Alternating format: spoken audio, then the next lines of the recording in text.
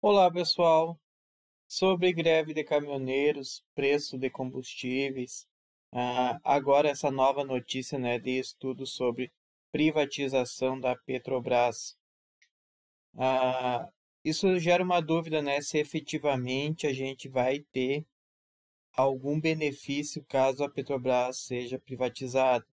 A gente tem o caso né, da Bahia, onde a refinaria foi privatizada e hoje em dia a gasolina lá e o diesel é até um pouco mais caro do que a média do Brasil.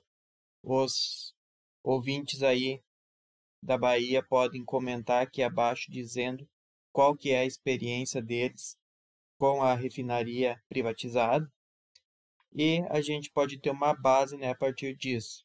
Eu acho que para melhorar o preço do combustível não basta privatizar a Petrobras. Tem que haver uma nova política de impostos sobre os combustíveis. Quem aí concorda comigo? Deixa nos comentários, diz aí a sua opinião, o que, que você acha, se privatizar vai melhorar ou não, se o caminho é outro, eu penso que o caminho é outro, né? O caminho é uma nova política de impostos sobre os combustíveis, o que levaria a uma diminuição nos nossos preços.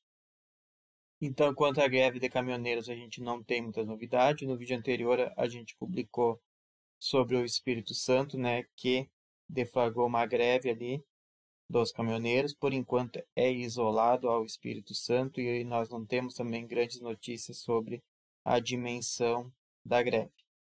Qualquer novidade vamos postar aqui, pessoal. Se inscreva no canal aí, curta o vídeo e até mais.